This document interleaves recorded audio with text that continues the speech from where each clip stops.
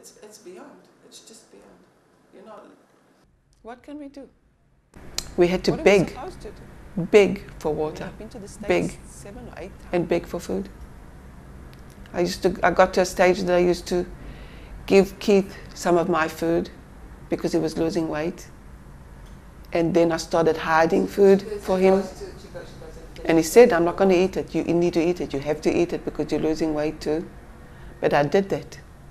I wanted Keith to it to doesn't eat it. seem right for any anybody to go through what, what they're going through. Hostages were chained,